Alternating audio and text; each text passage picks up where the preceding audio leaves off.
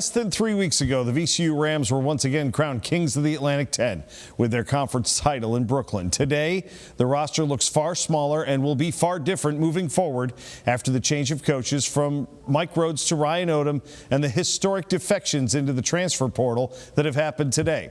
The biggest of those names is that of Ace Baldwin, the reigning Atlantic 10 Player and Defensive Player of the Year. Baldwin was the unquestioned floor general of the Rams this year, leading the team with nearly 13 points and six assists per game.